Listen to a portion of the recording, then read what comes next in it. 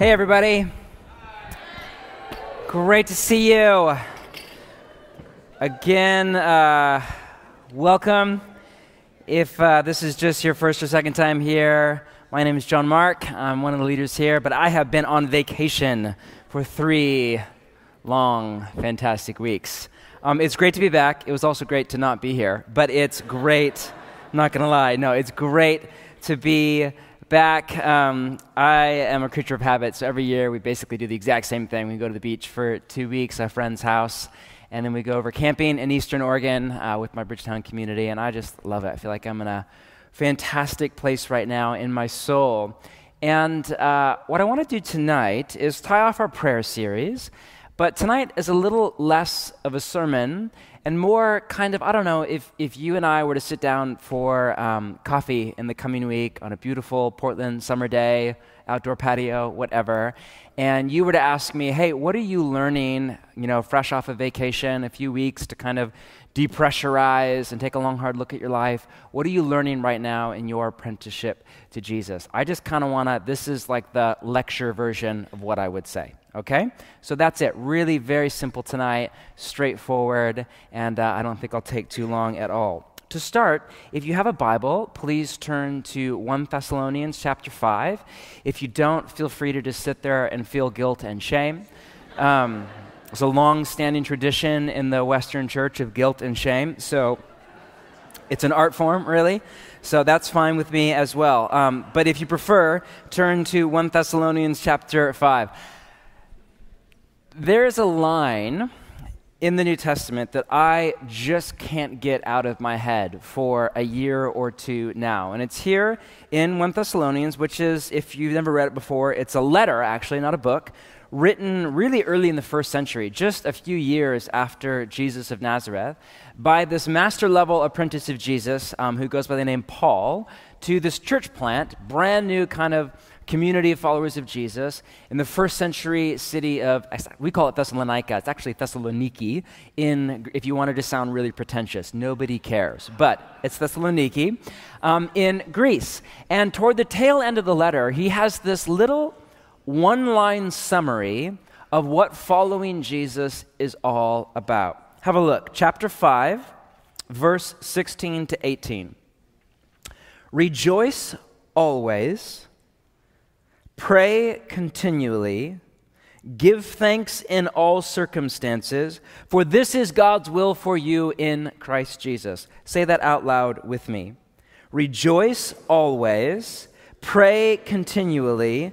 Give thanks in all circumstances, for this is God's will for you in Christ Jesus. What does it all come down to at the end of the day? Well, moving through life from a posture of joyful, grateful prayer. The word prayer there in Paul's command to pray continually is proseuchomai, which is the Greek verb to pray. But then it's followed by this little word, adeltos, which is an adverb that basically means without stopping. Here's a few other ways to translate the Greek into English. Rejoice always, pray without ceasing. Give thanks in all circumstances, for this is the will of God in Christ Jesus for you. It's a number of translations. Or here's another Always be joyful, never stop praying. Be thankful in all circumstances, for this is God's will for you who belong to Christ Jesus. Or here's another Celebrate always Pray constantly and give thanks to God no matter what circumstances you find yourself in. This is God's will for all of you in Jesus the Anointed. Or, as always, Eugene Peterson for the win. When in doubt, quote the message. That's my philosophy. Be cheerful no matter what. Pray all the time. Thank God no matter what happens. This is the way God wants you who belong to Christ Jesus to live. However, you word it, the idea that Paul is getting at is crystal clear. We are to live from a place of joyful, grateful prayer. Now, what exactly is Paul saying here? Um, pray continually? Is he saying, you know, quit your job and throw your iPhone into the Willamette? And if you have a family, abandon it like the Buddha and wander off into the wilderness and join a monastery and pray 24 hours a day? and then what? Like for a week and then you die? Like, what's his long term plan here? Or is he saying something else? Well, I mean, of course, at one level, it's just hyperbole. He's just saying pray and pray a lot. But at another level, to Paul, and I would argue all the writers of the New Testament, prayer is more relational than it is functional. Put another way, it's more about moving through life in relationship to God than it is about doing something, or if you prefer, getting God through prayer to do something. Over the last two months, we covered all sorts of types of prayer the Lord's Prayer, contemplative prayer, intercessory prayer, unanswered prayer, singing prayer, imaginative prayer, listening prayer. Then last week with Alex, how to pray for people. Notice that intercessory prayer is one on a list of like seven or eight, and that's not an exhaustive list. But for a lot of people, when I say the word prayer, that's all that comes to mind for you. The picture in your mind's eye of you know a missionary in a far off corner in the world kind of old and haggard and tired looking eyes closed down on his or her knees praying for a move of god. And that is prayer and that is beautiful. But that's just one little corner of the room that is prayer or relationship to god the most ba- basic definition of prayer that i can think of is this a whole life orientation toward god that's prayer, a whole life orientation toward God. Robert Mulholland, in his book Invitation to a Journey, which um, I'm guessing a lot of you don't recognize that book. It's a bit old now from the 90s, but it is one of the best books I've ever read on following Jesus and how we are transformed. And I love his definition of prayer quote, an established posture of relationship with God that becomes the context within which we experience all the events and relationships of our lives. Let me read that again.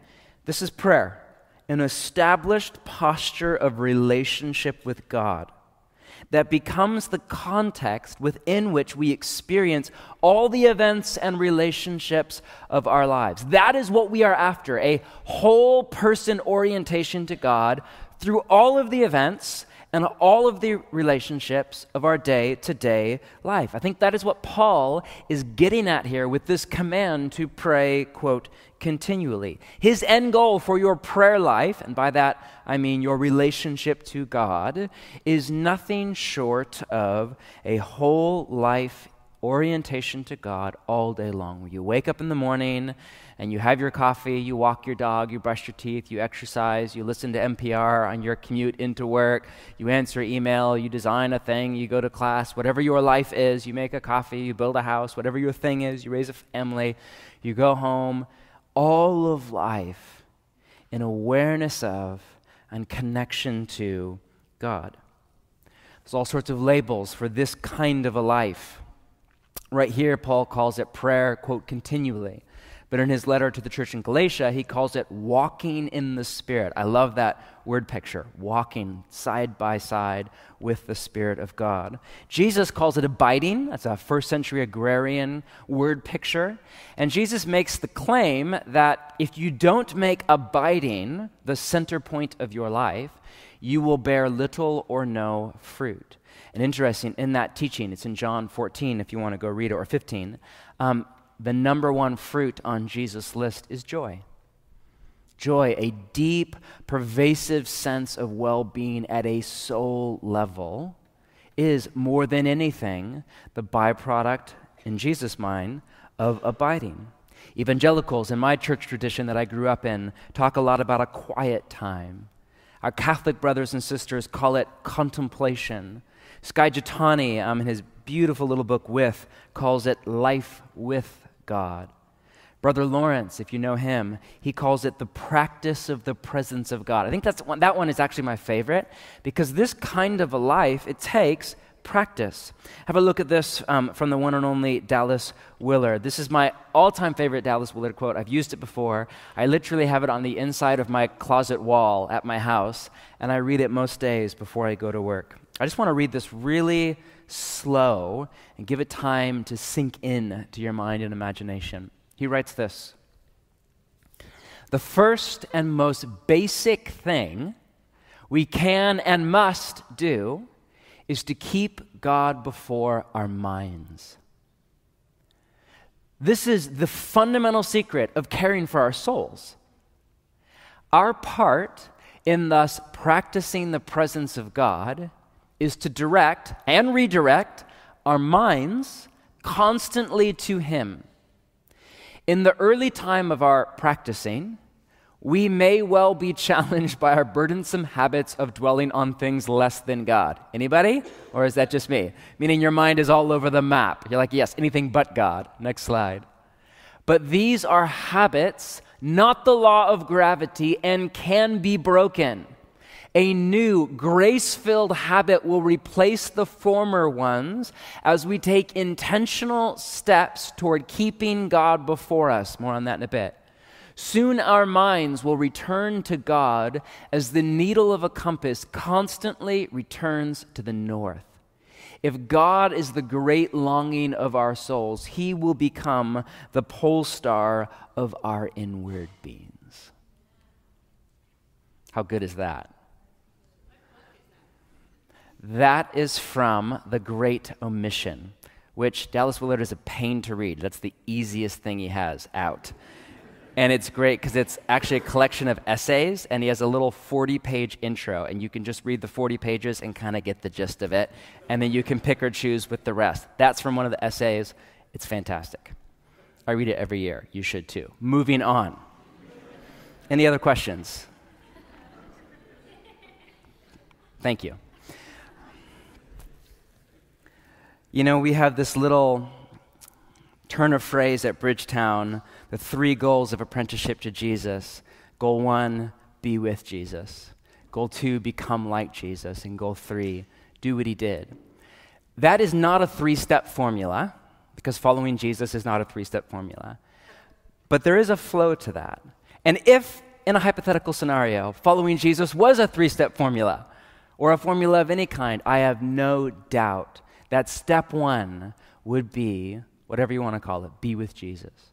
Practice the presence of God, abide in the vine, pray continually, walk in the Spirit, life with God, get up in the morning and have a quiet time, whatever you want to call it.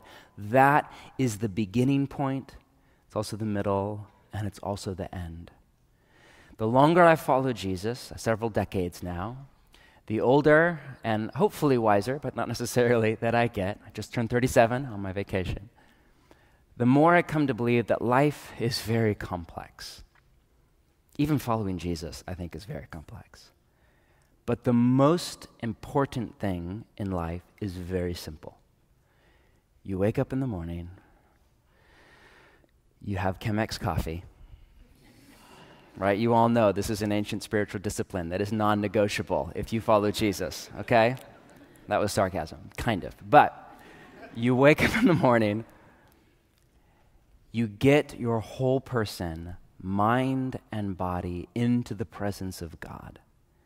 And you do, whether that takes you two minutes or two hours, you do whatever is necessary. And then you move heaven and earth. You do everything in your power to live out of that place all day long. You might make it four hours, you might make it four minutes, but then you just come back and you come back and you come back. There's all sorts of other things to think about, and, but that, in my humble opinion, is the most important thing in life. And that place that Jesus called the secret place. Have you ever read that teaching of Jesus? Um, he has this great teaching about how, you know, when you pray, go into your room and close the door. Now, this is first century, okay? So don't imagine like a McMansion in Lake O, okay?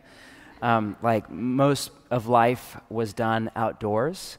And, um, but most people had a home that was usually one room, and there's usually one door in it. And there was like just a little back room that was kind of a, a storage room slash um, mini barn for the animals, where you would put extra food and your donkey or whatever. Really, the only private space in a home in the ancient world, unless if you were rich or whatever.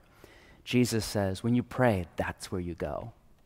Like the one place where you can go and close the door and shut out the world, and you go to that secret place. And for Jesus, it's more than a room in your house, it's a place in your heart, in your thinking and your feeling.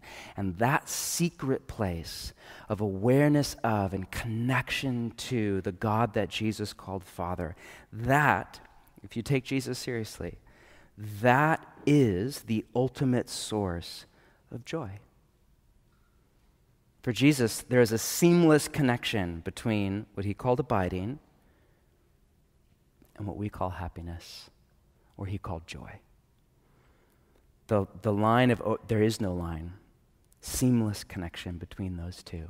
That is the life that you crave. We live in a nation that we remember on the 4th of July is a social experiment built around the pursuit of life, liberty, and what? The pursuit of happiness. We live in a city that has taken that to the next level and defined life, liberty, and happiness as a food cart and a bicycle and a fantastic beer on a Sunday afternoon. Ser- seriously, our whole city is like a temple to the god of hedonism, right? Like, just how much can we eat and drink, and how good can it be, and fantastic can we just make loafing around? Like, that's the city that we live in.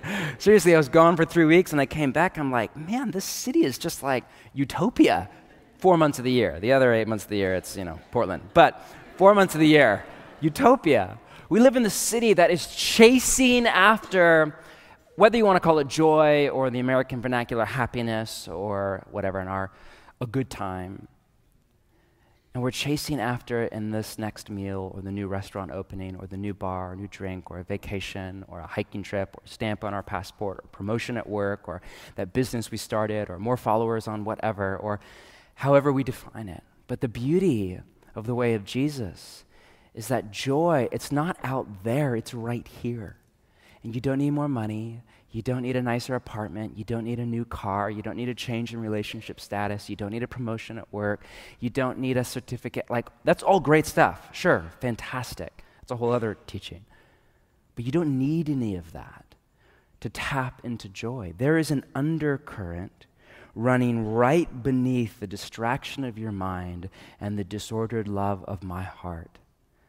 Of, in the language of the New Testament, love and joy and peace. That is all the byproduct of life in the flow of the Spirit. All you have to do is slow down long enough to tap into it. It's waiting for you.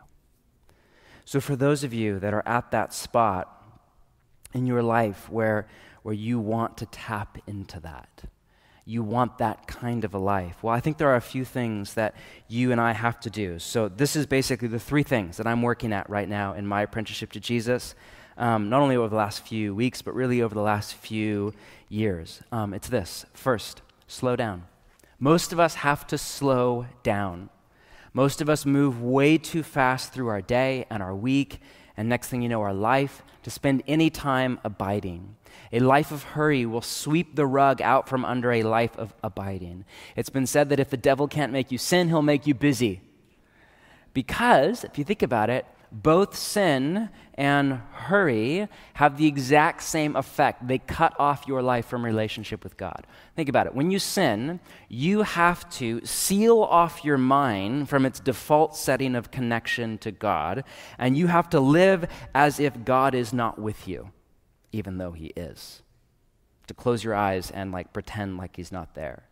When you hurry, the exact same thing happens. When you hurry, you have to step outside of the moment in a futile and frantic attempt to bend space and time to your will because you have too much to do and not enough time to do it. And the moment that you step out of the moment, you step, you break off your awareness of and connection to God because God is always in the here and in the now. Not back there, not up there, right here, right now. So most of us have to slow down. Secondly, and by let me just pause there. I don't just mean all of you type A workaholics need to slow down. You nod your head. The reality is, a lot of you are way too busy, and not because you're a workaholic or you're type A, because you have Netflix and you have internet connection and you have too many friendships and like your, your life is just over busy and, and it's, it's not even with to be honest it's not even with meaningful things That's why I think busyness is an epidemic. It's not just like for type A workaholic kind of career people, it's for everybody around us. It's so easy to get sucked in to a life that is not life. We have to slow down. Secondly, we have to open up our life to the flow of the Spirit. That's what it's all about. And to do that, we have to remove any and all obstructions and obstacles to the flow of the Spirit in our life. One of my um, favorite teachers of the way of Jesus and writers is this pastor down in the Bay Area by the name of John Ortberg. You might not know that name. He's actually quite well known, but um, kind of he's a generation ahead of me, one of the best Bible teachers of my parents' generation. And uh, he was a mentee of Willard for like 20 years, and so I just, I'm like a super fan. And I read all of his stuff. And so I was just a few weeks ago, I was down in San Francisco teaching on a Sunday, and I had the chance to sneak out for the afternoon and go buy him lunch. And I just, I'm not a fanboy with a lot of people. I was so fanboy. It was like I had my journal and my list of questions, and I was like thinking the conversation through and like working on it on my drive down, and my pen out. And I wanted to record it on my phone. I just thought that's a little creepy, so let's save that for the second lunch, you know? And, um, and it was just, ah, uh, he's, you know, I think he's 60 years old, and he's just every, he's everything I want to be when I grow up, you know? It just, at ease in his own soul. And sometimes you meet people and they're very different in real life than on stage. And he was just absolute congruence, the exact same person from the podcast and the book and all of that. Anyway, I was smitten. It was fantastic. And it's just really great to be around somebody who's been following Jesus longer than I've been alive and has become a phenomenal human being through apprenticeship to Jesus. That just like is that not inspiring? So anyway, and to ask questions like how do you pray? How do you follow Jesus? How do you pastor a church and stay human and all of that stuff. Anyway, long conversation. But one of my favorite things, he had this great little question that he said he asks before any activity. He'll just pause for a little moment and he'll ask this very simple question Does this activity, this show on Netflix, this social media binge, this relationship, this whatever, does this open me up to the flow of the Spirit or block me off from the flow of the Spirit? And I, I loved how I framed it because I think when a lot of us kind of run an activity through the is this sin or not filter, we frame it through a moral lens rather than through a relational lens. And that's not all bad. I'm all for morality. I think Jesus is too. But even more important than the question, is this sin or not? Really, what we're asking there is like, how close can I get to the line without getting in trouble? What if that's the wrong question? What if a far better question is, does this lead me deeper into relationship with the Father or not? Because if the answer is no, then like I'm saying no not only to God, I'm saying no to love and joy and peace and what I ache for at a soul level. Nicholas um, Herman, uh, better known as Brother Lawrence, was this 17th century Parisian monk. Maybe you know his story. Devoted his life to what he called the practice of the presence of God.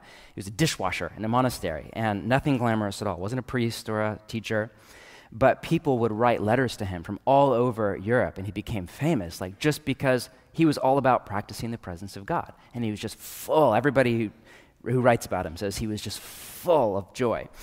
And uh, after his death, his you know, letters were put together into this little book slash pamphlet called The Practice of the Presence of God, which, fun fact, is thought to be the most widely read book in the world after the Bible itself.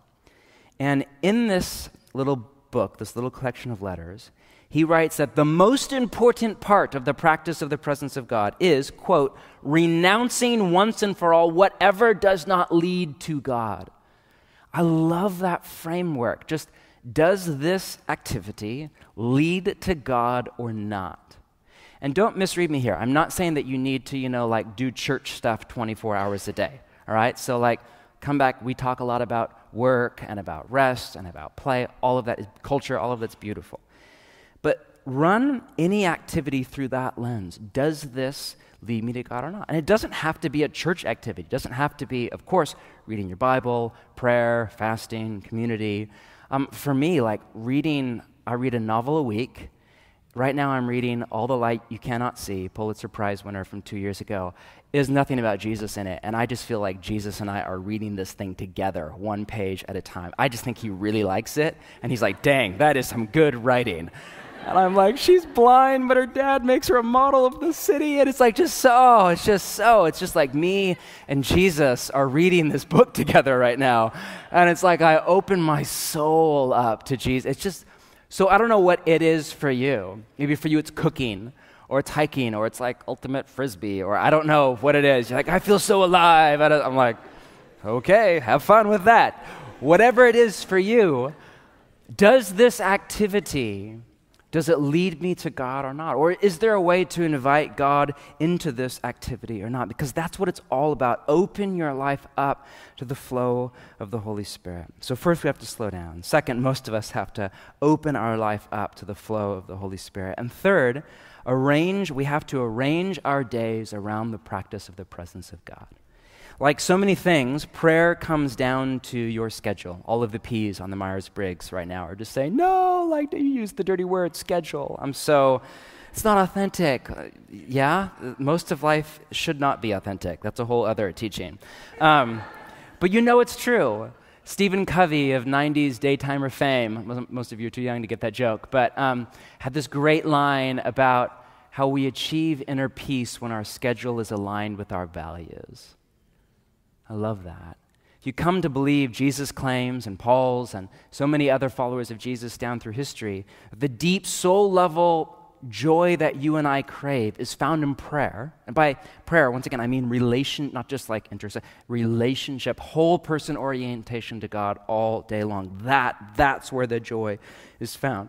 It stands to reason that you would make prayer your highest value in life, which means you would put it at some place on your schedule. And of course, it's the both and, if you're a Myers Briggs um, person, it's the both and of the J and the P, of structure and spontaneity. We need both, not one or the other. Based on your personality, you default to one, but we need both in order for a well rounded spirituality and experience of God. All that to say, following Jesus has to make it onto your schedule or the odds are it will not happen, or it will be sporadic at best. Dallas Willard would frequently say this little line quote, You must arrange your days so that you are experiencing deep contentment, joy, and confidence in your everyday life with God. I love that. Think about your morning routine. Think about your kind of week. Think about your weekend, how you spend your free time. Think about your budget. Think about, you know, your relationship, your disciplines or lack of disciplines to your phone. Like, you must arrange your days so that you are experiencing deep contentment, joy, and confidence in your everyday with life with God. He had this little follow up line when he would say, You must arrange your days so that sin no longer looks attractive to you. There is a way to live in which sin no longer looks attractive to you. There are 86,400 seconds in every single day. When you wake up in the morning, your goal and mine as an apprentice of Jesus is to live as many of those as we can in the presence of God. With our mind just to click over and set on God, the attention of our heart set on God. John Ortberg again writes this prayer more than any other single activity, is what places us in the flow of the Spirit. When we pray, hearts get convicted, sin gets confessed, believers get united, intentions get encouraged, people receive guidance, the church is strengthened, stubbornness gets melted, wills get surrendered, evil gets defeated, grace gets released, illness gets healed, sorrows are comforted, faith is born, hope is grown, and love triumphs. In prayer, in the presence of God, we come closest to being fully ourselves. And I love his line here. The goal of prayer is to live all of my life and speak all of my words in the joyful awareness of the presence of God. Let me read that again. The goal of prayer is to live all of my life, and I would say the goal of following Jesus, to live all of my life and speak all of my words in the joyful awareness of the presence of God. So if that is the end goal, right? That's the long term kind of, you're on a journey of following Jesus. That's the destination. That's maybe a year away, 10 years away, 20, 30, 40, but that's the end term goal to live all of your life, speak all of your words in the joyful awareness of the presence of God. How do we get from here to there?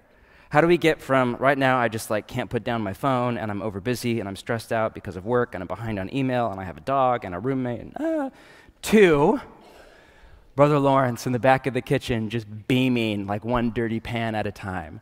Like, how do we cross that chasm? How do we, as Willard said, take intentional steps toward keeping God before our mind, end quote? Well, all sorts of ways. Here's one. Once again, this is for those of you that want to move forward. If you're not ready for that, that's just fine. There is a practice from the way of Jesus. Actually, it's far older than the way of Jesus. It goes back to several hundred years before Jesus himself. Um, that goes by a few names. I call it fixed hour prayer. Um, in the Catholic tradition, it's called the daily office. In the monastic community, you read about the liturgy of hours, which is this idea, but like on steroids. They act, most of the time, it's three prayer three times a day, morning, noon, and night. Um, in the monastic community, it's seven times. It's like here it is Matins, midnight, lauds, 3 a.m., prime, 6 a.m., terce, 9 a.m., sext, noon. Not sex, there's not a lot of that in a monastery, especially not at noon. Um, none, 3 p.m., vespers, 6 p.m., Compline, 9 p.m. So that's ho- hopefully you already all practice this in your apprenticeship to Jesus. My favorite is Lauds every morning, 3 a.m. I'm just, you drive by my house, the light is on, I'm just there in my office. You can't see me because I'm down on my knees, just face out before God, speaking in tongues, just caught up in the glory um, every single morning for an hour. So obviously that's like crazy. Um, that's people who literally have a full time job, and it's what, what do you do for a living? I pray, okay? Most of the time, you read about prayer three times a day. For example, um, Psalm 55, 17. Evening, morning, and noon. Jewish day started at night. Evening, beginning of the day. Morning, the middle, and noon, the end. I cry out in distress, and he hears my voice. I love how honest he is, brutally honest. Evening, morning, and noon, I read a liturgy from the Anglican Book of Common Prayer. No, I cry out in my distress, and God hears my voice. Meaning, three times a day, I pause and I offer up to God whatever it is that I'm thinking and feeling in that moment. And I meet God in that place. One of the reasons that so many of you, if we're honest, in the room tonight think that prayer is boring and have no desire to do what I'm teaching on tonight is because you don't actually pray, you pretend and you don't actually offer up to God what it is that you're thinking and feeling. You filter what it is that you're thinking and feeling because a ton of it is lousy, and you offer up to God whatever is left that you should be thinking and you should be feeling. Am I right? Which is just this like childish game that we play with God. Like, you are aware He's God, right? And He knows what you're thinking better than you do, and He knows what you're feeling better than I do. You can't hide anything. In the language of Hebrews, the eyes of all are naked before God. I misquoted that. It's something like that. Something about being naked before God, but not in a creepy way. Moving on. Life comes in prayer when you stop praying what you should pray and you start praying where you're actually at and you pause. There's a discipline to it, or if you prefer a practice to it, that's more of a yoga word, whatever. Okay. Practice. You set a time, it's in your schedule, it's on your phone, whatever, it's in your routine. There's a dis- but you just stop and you offer up to God gratitude or distress, joy or doubt and anger and confusion. And God, I don't feel you at all right now. And you invite God into that thought into that moment, into that frustration. Have you read the book of Psalms recently? It's, it's a collection of ancient Hebrew prayers. It's a lot of lousy prayers in there. Seriously, read it. Doubt, anger, lament, bitterness, rage, hatred, confusion, depression. Like the whole gamut of the human condition is in there as a prayer to God. You just offer up to God whatever it is that you're thinking and feeling in that moment. And that is a huge step forward. I just want to show you, I'm going a little long. I just want to show you one story before we wrap up. With your finger here, we'll come back and just read that last line one more time. But turn really fast to Daniel chapter 6. Um, if you're new to the Bible, there's a table of contents on page 1. This is an ancient memoir from hundreds of years before Jesus of Nazareth by a brilliant man, kind of a um, political genius by the name of Daniel.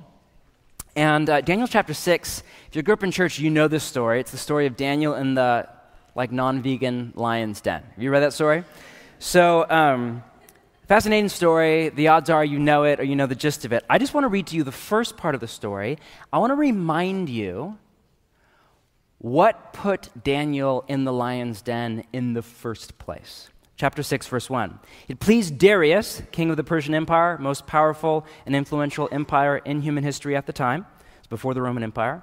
Um, to appoint 120 satraps to rule throughout the kingdom and spread out all over the world, with three chief ministers over them, one of whom was Daniel, who's not a Persian, not a pagan at all. He's a Hebrew and a follower of Yahweh, the creator of the heavens and the earth. Now, the satraps were made accountable to them so that the king might not suffer loss, no corruption in the government. Now, Daniel, man, how cool would it be to have this said about you at your work? He so distinguished himself among the chief ministers and the satraps, his coworkers, by his exceptional qualities that the king planned to set him over the whole kingdom, make him the most powerful and influential man in the world after Darius himself. Now, at this, the chief ministers and the satraps tried to find grounds for charges against Daniel in his conduct of government affairs, like office politics, nothing new, but they were unable to do so. Listen, they could find no corruption in him because he was trustworthy and neither corrupt nor negligent. Finally, these men said, We'll never find any basis for charges against this man Daniel unless it has something to do with the law of his God. Now, stay with me. So the chief ministers and satraps went as a group to the king and said, May King Darius live forever, blah, blah, blah. Here's what we want you to do issue an edict and enforce the decree that anyone who prays to any god or human being during the next 30 days, except to you, your majesty, shall be thrown into the lion's den. Now, your majesty, issue the decree, put it into writing so that it cannot be altered. So King Darius said, oh, That sounds like a great idea. I am awesome. Okay. That's in the Hebrew, right? Now, when Daniel learned that the decree had been pu- published, take a look here at 10. He went home to his upstairs room where the windows were opened toward Jerusalem. Three times a day, he got down on his knees and he prayed, giving thanks to his God, just as he had done before. Then these men went as a group and found Daniel praying and asking God for his help. So they went to the king and spoke to him about his royal decree. And the story goes on, and he is in the lion's den. And if you want to know what happens, read it or grow up in church. Either way works. I just want to remind you what is Daniel put in the lion's den for? Yeah, fixed hour prayer. Three times a day morning, noon, night. Now, think about it. Is there, how many of you have read the first five books of the Bible or like skimmed? We'll count skimmed, okay? Most of you. Is there a command in there, what is called the Torah, the law, to pray three times a day? A command where you have to do it. Nope. Think about it. Is there a command in all of the Bible to pray three times a day? Not really. Is there a command that you need to wake up in the morning and first thing read your Bible and pray? No. Oh, that's what most followers of Jesus who do well at it all do. But no, you don't have to. There's no command. Is God angry at Daniel if he like takes an afternoon off prayer? No. Is God angry at you if you you're like I've never had an afternoon on prayer? But is he is he angry at you if you like wake up and check Instagram instead of reading your Bible. No, it's not a command. You don't have to do it. You're stupid not to. But that's a whole other teaching. Um, but you don't have to do it. Yeah, think about it. Here's Daniel. His life hangs in the balance. Not only that, but he has the chance to become the most powerful and influential man in the world after the king and to shape or reshape the Persian Empire to more in line with God's vision for human flourishing. All he has to do is for 30 days, like just pray in the quiet of his heart. all he has to do. Just close the window for 30 days. That's all you have to do. Like, what are you doing? Oh, I'm like, you know, doing my hair or whatever, you know? That's it. Or just say, I'm going on a walk. Are you talking to the air? No, no, just on a walk. Just, that's all he, all he has to do. He is willing to die and to give up the chance of a lifetime just because he will not break his practice of fixed hour prayer. It was that important to him. Could it be that Daniel, who was just brilliant, that he was so smart, that he realized if I don't practice this, if I don't ground myself in the practice of the presence of God, I don't stand a chance in the corrosive soil of a place like Persia, before that, Babylon. So far from Jerusalem, so far from the temple, so far from the Torah, I don't stand a chance. If that was true for Daniel, it was just a tad better than most of us in the room tonight. How much more so is that true for you and I? Not living in ancient Persia, but living in 2017 in Portland, Oregon, in corrosive soil, that of a secular, progressive, post Christian city. How much more so is it true if you and I don't ground our life at a soul level in the practice of the presence of God? The odds are that you and I will not make it. How many of you have friends that were sitting next to you a year ago and aren't here anymore? I don't need fixed hour prayer. I'm not. Okay. Daniel does. He's kind of smart. I do. Jesus seemed to think he did. A, is this a legalistic guilt trip? Not at all. This is like how you get in on life. Like, this is like how you get in on love and joy and peace. So, coming out of our prayer series, I'm just about done. Um, I just want to, I don't know, is challenge an okay word? Call, invite, woo, whatever, suggest. Um, I, I, this is obviously your, totally your decision, but I just want to challenge all of you to fixed hour prayer. And, and once again, I don't mean like 3 a.m., an hour, naked, whipping your back like in the rain. don't save that for the dark ages, all right? I, I just mean, I want to challenge you to two or three times a day pause and set God before your mind. If you have an hour in the morning to, to read the Bible and pray and pull out prayer cards and do listening prayer, great. Um, if you're not there right now and five minutes is a stretch for you, okay? Start where you're at. Start right where you're at. Um, uh, what I do is really, really simple. I wake up in the morning, um, I make really good coffee that I can't quite afford, and um, did you give me that pound of heart that was on my desk when I came back? Oh, I just love you so much. I don't even know. My wife got me that for my birthday when I was gone, and it was like the best. The Kenyan right now from Heart is like off the chain, as they say. Um, I don't know who they is. That was like 1999. Like, like I think Tupac said that. But um, thank you. I make my coffee. I digress. Um, and I, I just I read and I read a psalm. So in the morning I read a psalm and usually I'll do a little listening prayer. Uh, over vacation, I was so fun. I just would um, ask God a question every morning. I've been thinking about that line in Ephesians find out what pleases the Lord. And so I would just, I had extra time. And so I would just ask God the question, um, what would please you today?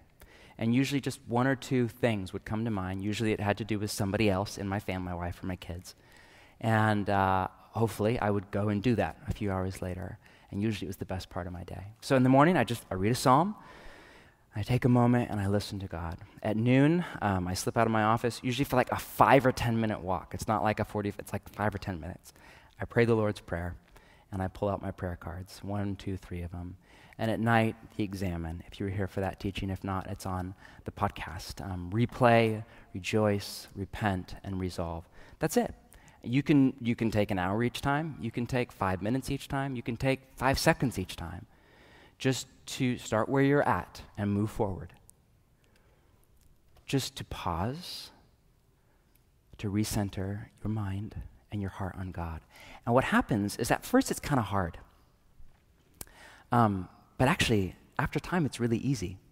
So, psychologists talk a lot about the J curve. You know about that? Maybe you had that in a sociology class or a psychology class, a learning thing, where normally when you start to learn something new, whether it's like the piano or Spanish or prayer, um, you like you start to learn something new and you think it's going to look like that top line in orange. In reality, it's going to look like that bottom line in blue. Wah wah wah. Like normally, you get way worse at something before you get better. So best analogy I can think of because kind of everybody, if you're American, like you kind of just speak a little bit of Spanish and play a little bit of guitar. Like two things you we all kind of do badly. You know what I'm saying? See, right? Comprende? Um, like, C, that's the only thing I know. But we all kind of do both just a little bit and badly. So most guitarists um, are self taught, right? So, um, like back in the 90s, I grew up in the 90s where like we didn't have YouTube, and which is why, yeah, we just played power chords all the time. Um, so I thought that was funny. No? Okay. Uh, power chords are really easy to play. They take two fingers. Anybody can do it. It was a Dave Grohl thing. Anyway, um, when you start, to, when you teach yourself guitar, you naturally pick all down strum, dun dun dun dun dun dun dun.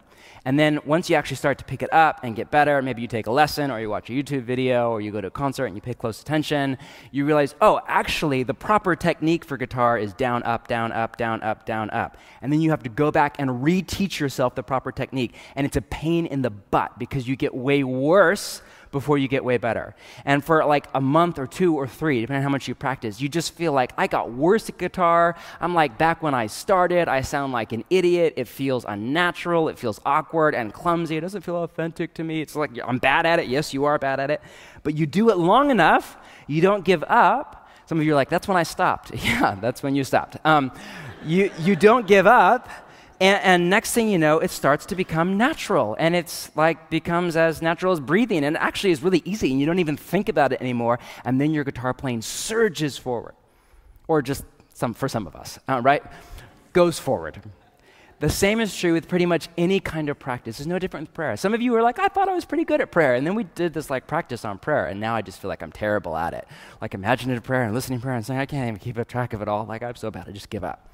That's the J curve it gets worse before it gets better. Just stick with it.